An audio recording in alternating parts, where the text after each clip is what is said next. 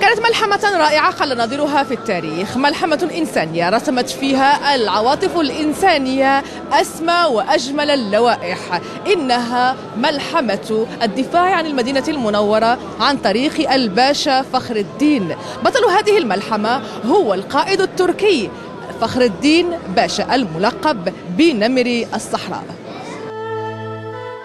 تبدأ القصة في الواحد والثلاثين من شهر مايو أيار سنة 1916 عندما تلوح بوادر الأطماع الأوروبية لتقسيم الإمبراطورية العثمانية فيضطر الباب العالي إرسال الإمدادات العسكرية متمثلة في قائد الفيلق العثماني فخر الدين بأشا من أجل حماية المدينة المنورة. ملحمة الدفاع عن المدينة المنورة؟ تعتبر من بين الوقائع التاريخية التي رسمت معاني الوفاء والإخلاص للدين الإسلامي في أجمل وأروع لوحة.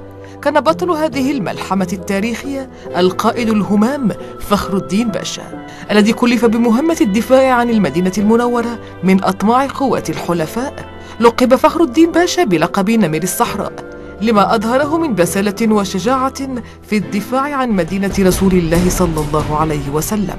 ولضخامة هذا الأثر والحدث التاريخي يقرر المسرح التابع للدولة اقتباس هذا الحدث التاريخي إلى عمل فني. حضر حفل افتتاح المسرحية التي كانت تحت عنوان الدفاع عن المدينة المنورة الحفيد الرابع للقائد الهمام فخر الدين باشا. من المهم بالنسبة لنا أن يتعرف الجمهور بهذه الطريقة على فخر الدين باشا وعلى ما قام به من أعمال وإنجازات ولهذا نأمل أن ينال هذا العمل إعجاب الجميع.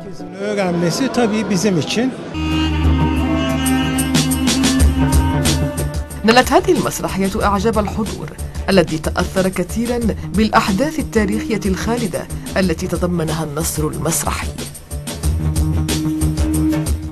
منذ وصول فخر الدين باشا إلى المدينة المنورة بقصد الدفاع عنها في الواحد والثلاثين من شهر مايو سنة 1916 بقي فيها سنتين أي لغاية سنة 1918 لم ينقطع عن العبادة وعن زيارة ضريح النبي صلى الله عليه وسلم إضافة إلى أنه اغتنم الفرصة من أجل التقاط مجموعة من الصور التذكارية التي تبين الوضع الذي كانت عليه الديار المقدسة في تلك الفترة. هذه القصة الواقعية اقتبست إلى عمل مسرحي تتبعته معنا منذ قليل. نتمنى أن يكون قد نال إعجابكم لأنه فعلا يعبر عن ملحمة تاريخية خالدة.